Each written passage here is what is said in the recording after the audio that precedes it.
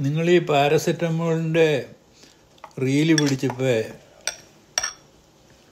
അത് സ്വയം ചികിത്സയാണെങ്കിൽ short time use എന്നോ ഒക്കെ പറഞ്ഞ എന്തുകൊണ്ടത് ഒത്തിരി പേര് പാരസെറ്റമോൾ ധാരാളമായിട്ട് അവർക്ക് എന്തെങ്കിലും പ്രശ്നം വരുമ്പോൾ ഒക്കെ കഴിക്കുന്നവരുണ്ടല്ലോ.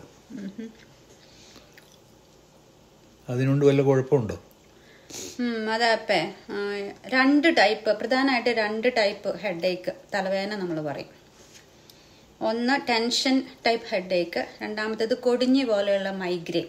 അപ്പോൾ പ്രധാനമായിട്ട് ആൾക്കാർ ഈ തലവേദനയ്ക്കാണ് തലവേദന വരുമ്പോൾ വരുമ്പോഴാണ് ഈ പാരസെറ്റമോൾ എപ്പോഴും എപ്പോഴും എടുത്ത് കഴിക്കുന്നത്.